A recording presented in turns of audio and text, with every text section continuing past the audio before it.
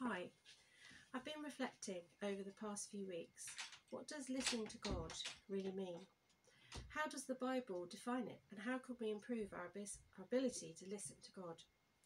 We live in an increasingly noisy, angry, overreactive, self opinionated world where lots of voices clamour for recognition and attention. In the Bible, James chapter 1 verse 9 says, My dear brothers and sisters, take note of this. Everyone should be slow to speak, quick to listen, and slow to be angry. I have been thinking about what it means to really listen to our Heavenly Father, to be still and to wait upon Him. We are bombarded with many opinions, and increasingly opinions that are neither founded on scientific evidence nor on a biblical perspective. It is a great temptation to fall into the trap of listening to and sometimes even believing fake news and people's false opinions.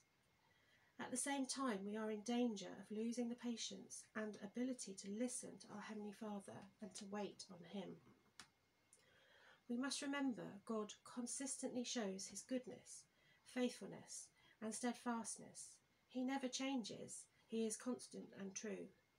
We need to drown out the noise of this world with the unchangeable teachings of Scripture, to be still and listen to God. On a personal level, I have reduced the amount of time I look at my BBC News app as it was distracting me from looking to my Heavenly Father. It was increasing my anxiety about catching the virus, becoming seriously unwell, and even dying. Let us work at listening to God, waiting to hear from Him, let us be slow and reflective when we are tempted to voice our opinions that may be contrary to Scripture and scientific evidence. This pandemic is causing many people enormous amounts of stress that is leading to poor mental health. And this reminds me at this point of Elijah's life when he was experiencing great levels of stress that led to depression because of the rebellion of God's people. The Lord brought him out on the mountain and told him he would reveal himself to Elijah. God then sent three natural phenomena. A great and powerful wind shattered the rocks, but the Lord was not in the wind.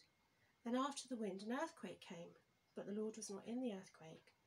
After the earthquake came a fire, but the Lord was not in the fire. After the fire came a gentle whisper that led Elijah out of the cave. It's when God spoke to him. This event greatly encourages me, and hopefully you too, as you and I endeavour to listen more to our Heavenly Father. Psalm 46:10 tells us, "Be still and know that I am God." How wonderful to know that our amazing God desires to speak to us and listen to our prayers and petitions. Let us model our actions of listening and speaking on our wonderful Saviour, Jesus Christ. Then we will know perfect peace and assurance in this chaotic world. Let us then encourage each other, our friends and family, to be still, to listen to God, and focus on the wonderful abundance of hope that we, as His saints, have been given. Thank you. Goodbye.